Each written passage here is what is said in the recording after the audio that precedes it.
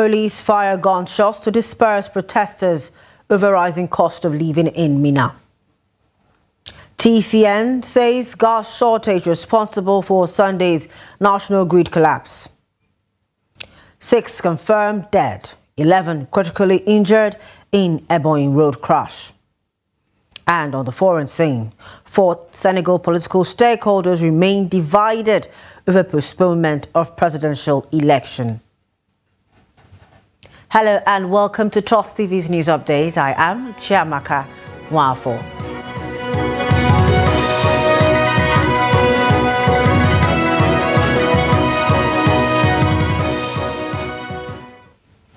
Thanks for joining us. Now the news. Gunshots were fired by operatives of the Nigerian police force to disperse residents of Minna, the Niger state capital, who were protesting against the escalating cost of living.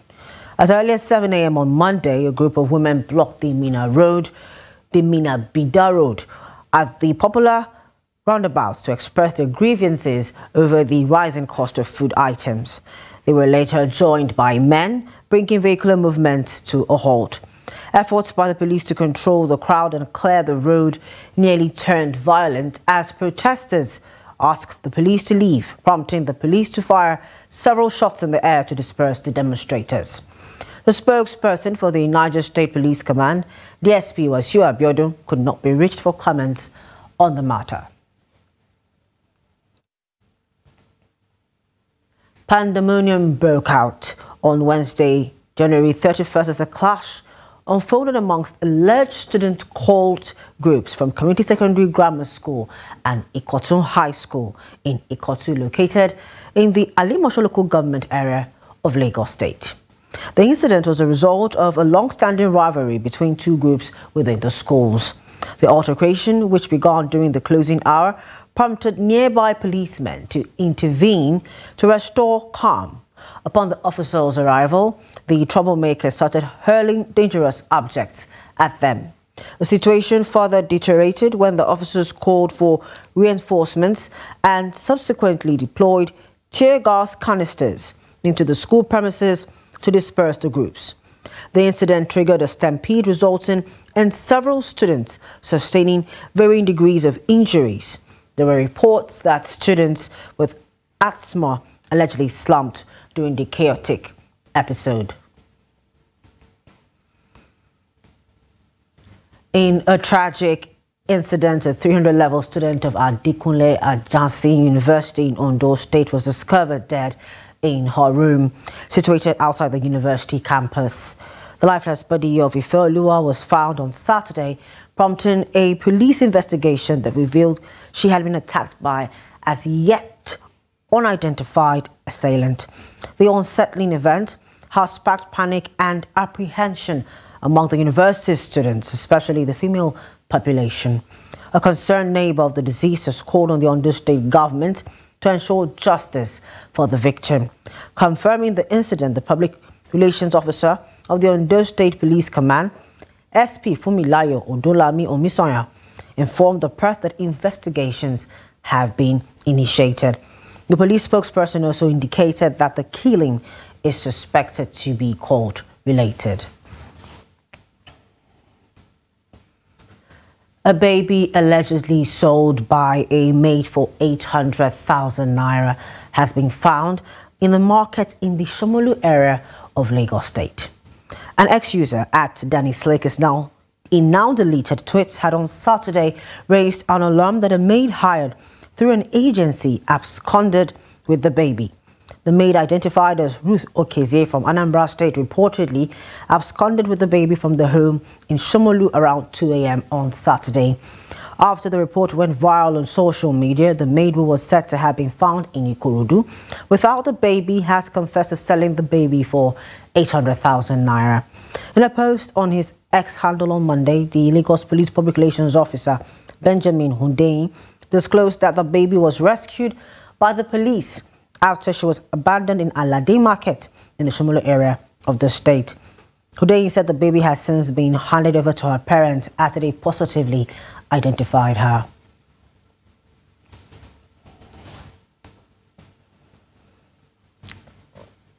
In Ebonyi State, tragedy struck on the Afikpo Abakaliki Road as the Federal Road Safety Commission confirmed a fatal automobile crash on the Onueke axis, resulting in six casualties. The sector commander, FRSC Igwe Nabuife, revealed that the accident involved 17 individuals with six fatalities and 11 critically injured.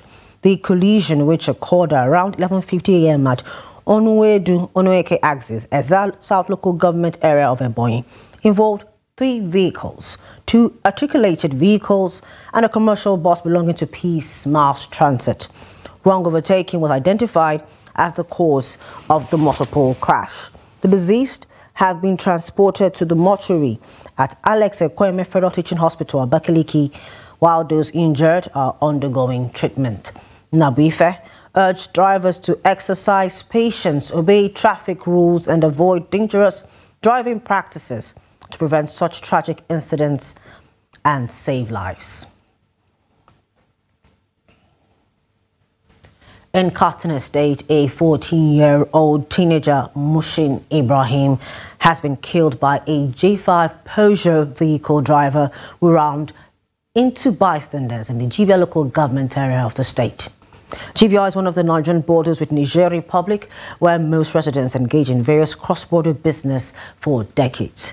An eyewitness, Surajo Aliyu, said on Monday in the incident took place on Saturday at 11 a.m. around the Tudunwada Primary School when officials of the Federal Operating Unit Zone B of the Nigerian Customs Service were on their way to buy food in Jibia town. He added that the J5 driver who was conveying soya beans thought that the NCS officials were chasing him. And in politics, a federal high court sitting in Abuja has dismissed the bail applications filed by the loyalist of the River State Governor Siminalayi Fubara linked to the State Assembly explosion. The police had instituted terrorism-related charges against them following their alleged role in the bombing of the River State House of Assembly in October of 2023. They were also accused of killing some police officers. The defendants are Chime Eguma Ezabalike, Prince Lukman Oladili, Kenneth Goodluck Basa, Siga Donald, and Ochweja Vanguard. The Transmission Company of Nigeria has clarified that the partial grid disturbance experienced on Sunday was a result of gas constraints at its Ibom Power Island feeding Eket, Ekim, Itu and Uyo transmission substations. In a statement signed by its General Manager, Public Affairs, the TCN explained that during the partial disturbance, the total grid generation was 3,901.25 megawatts, just over three hours before the time of the partial collapse. While confirming the restoration of the affected part of the grid, the statement acknowledged the persistent low power generation in the country since January 2024, aggravating daily generation due to ongoing gas constraints. The TCN emphasized that gas constraints persist, impacting grid flexibility and stability. Ensuring sufficient gas supply to power generating stations is crucial for grid stability as ample generation allows for better grid management in the event of sudden generation losses like this. The TCN pledged to investigate the cause of the tripping of Sapele steam and Egbin power generating units. This is the news update on Trust TV. Up ahead, we took a look at why Bayelsa residents express mixed reactions over environmental challenges. More news when we return. Please do stay with us.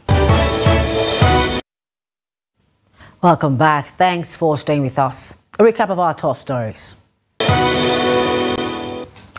Police fire gunshots to disperse protesters over rising cost of living in Minna. TCN says gas shortage responsible for Sunday's national grid collapse. And now to more news. The People's Democratic Party in Edo State on Sunday conducted an election to pick delegates that will participate in the party's February 22nd governorship primary. The exercise was, however, trailed by an Opera, as nine out of the 11 PDP governorship aspirants boycotted the exercise. Also, the governor of Oyo State, Seyi Makinde, who was the chairman of the three-man committee in charge of the Edo delegates election, withdrew from the exercise. However, the governor of Enugu State, Peter Mbah, who is said to be the deputy chairman of the committee, commended the large turnout of party members for the delegates election. Edo State Governor Godwin Obaseki described Makinde's withdrawal from the process as unfortunate, but said it would not undermine the credibility of the exercise, which he said witnessed a large turnout of party members. In Bayelsa State, residents in Yenagoa metropolis are sharing mixed reactions regarding the performance of the Governor Doye Diri-led administration in the environmental sector. Trust TV correspondent Friday Ebimoboe Peter explores public opinions on the government's environmental track record. Bayelsa has over the years struggled with enormous challenges in environmental protection, which has become a major public interest for citizens in the state. Some of the residents who spoke to Trust TV News say the government has improved its effort in public waste disposal while calling for a robust approach in addressing other challenges. From my own point of view, uh, he did well because uh, in the place that they are putting those bin, the waste bin aspect is parking the the people that he put in charge over the parking those bin. They are doing the work well because if you are passing the metropolis, you are not seeing those bin littered all over the state. But for the people that he put in charge of the gutter, during the uh, sanitation uh, day, they are not doing their work. They are just holding people that are passing by. Does does bin full small time don't come back am. Even the security itself in the try. So in try. David Siasia and residents is calling for increased focus on the environmental sector and the second tenor emphasizing the need for a proper drainage system in the Yenagoa metropolis. We always get uh, uh, flood, flood problem in Bayelsa. Please, for the drainage, let all the drainage be leaked into, into the, the big river side so that we cannot be having all those standing water that cause mosquitoes. Uh, but let, let him make sure that in the second tenor, this environmental sector concerning the drainage, let them work toward the drainage. Because when you enter some street, you will find out that's not flood, just a rain. But people house will be flooded. Two days, three days, you will see people using a uh, generator to be drawing water out of their houses. And it's very bad for a state Bayelsa. Residents have highlighted flooding as a prevalent issue in the state, urging the government to take decisive measures to prevent further occurrence. From Yenagoa, Friday, Ibimobowe Peter. Trust TV News, And away from Nigeria, in Senegal, the decision to postpone the presidential elections was well received by the former ruling Democratic Party, whose presidential candidate is Karim Wade. Wade's supporters were seen celebrating the postponement of the February 25th presidential election by President Macky Sall. The decision follows, among other things, a dispute between their candidate and the Constitutional Council accused of corruption by the former ruling party. Several opposition figures rejected President Macky Sall's decision to postpone the election with at least two of the 20 presidential candidates saying they would proceed with their campaign scheduled to kick off on Sunday. Sall's tenure is scheduled to end on April 2nd. Senegal's electoral code requires 80 days notice of an election, meaning the earliest the new vote could take place is the last week of April. West Africa's regional bloc on Sunday called for dialogue to resolve the political crisis. We welcome this decision because it renders us justice. This decision by the President of the Republic to postpone the elections is good because these elections could not be organized without Brother Abdul Karim Sawade, who is the only viable, reliable alternative for the emergence of this country. It's really sad that a few hours before the campaign, a person, in this case Mr. Macky Sall, who in 30 or 40 days will no longer be president of the republic should make a decision for the people. I don't think this is appropriate. What he has just done could set a dangerous precedent for Senegal, and I think it's time he stopped. Now it's high time for all the nations, driving forces, civil society, and everyone else to rally around the essentials, because if this travesty goes through, I don't think Senegal deserves to be called a constitutional state. This postponement is unconstitutional coup d'etat. On that note, we call on the Senegalese people to stand up to fight this issue because we considered it to be a state banditry. The question now is what will happen to Macky Sall's presidency beyond April 3rd? Will he respect what the constitution says? Everyone is waiting for the president's decision. At least 112 people have been killed by forest fires in Chile's Valparaiso region, local authorities have said. Gabriel Boric declared the state of emergency and said he would make all necessary resources available to tackle the situation. It is believed to be Chile's deadliest forest fire on record. Many of those affected were visiting the coastal region during the summer holidays. A health alert was put in place in Valparaiso by the Health Ministry. The ministry called for the suspension of elective surgeries and authorized temporary field hospitals to be set up. Medicine students nearing the end of their studies will be hired to help ease pressures on the health service, the ministry announced in the same statement. Rescue services have struggled to reach the most badly affected areas, and Interior Minister Carolina Tohá said the death toll would reach much higher figures in the coming hours. The Chilean government has urged people not to travel to the areas hit by the fires. In sports, the Minister for Sports Development, Senator John Enoh, has said that the Kano Golf Club is an of immense cultural importance to West African history. Speaking at the Kano Golf Club Captains Inaugural Tournament featuring 251 amateur and professional golfers, the minister pledged to collaborate with the appropriate ministry to label the golf course as a national heritage site. We have a Kano Golf Club that has dated since 1903.